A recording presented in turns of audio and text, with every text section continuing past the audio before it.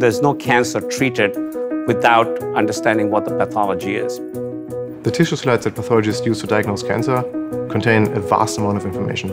It's very time-consuming, very fatiguing. Every cell needs to be examined. Sometimes cancer is very difficult to recognize. We had the idea for the microscope project about a year ago. It brings augmented reality into an existing microscope to detect cancers in real time. We're bringing AI directly to the user and meeting them where they are right now. I think this is going to enable almost all pathologists to have access to machine learning. Just a few weeks ago, we got it working end-to-end. It has a camera, so it's seeing the same thing I'm seeing. Information is being fed into a computer, which is doing billions of calculations and telling me that's the tumor, that's not the tumor. Right now, it detects breast cancer and prostate cancer, but it could also work on any other cancer type that we train models for.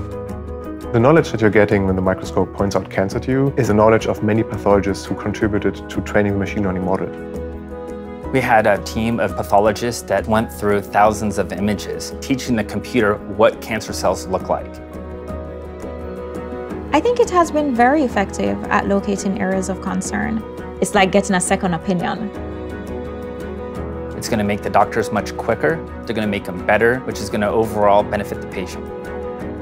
The mission is to increase the accuracy and availability of cancer diagnosis and save people's lives. I can hardly think of anything that's, that's more motivating.